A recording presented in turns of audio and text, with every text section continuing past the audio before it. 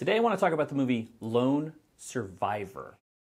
Lone Survivor is another one of these movies that's based on real life, and Peter Berg, who I think does them the best, where he'll take a real story, fictionalize it a bit, but make it a really enjoyable feature film, usually starring Mark Wahlberg. This movie is non-stop tension. It is non-stop worry. You're constantly on the edge of your seat. The relationship between the four soldiers is absolutely believable. Ben Foster, who's one of my favorite actors, who I think is completely underrated, excellent in this movie. Even if you're not into war movies, and I'm not really, this movie's worth a watch because it's more about the relationship in this traumatic situation between the four soldiers and how they're trying to manage through this situation. Every hurdle they come across, you know, if the decisions between A and B, both of those decisions have totally different ramifications, which kind of puts you in this headspace of what are we going to do? I really enjoy these groupings of movies that Peter Berg is putting together based on real life. A documentary is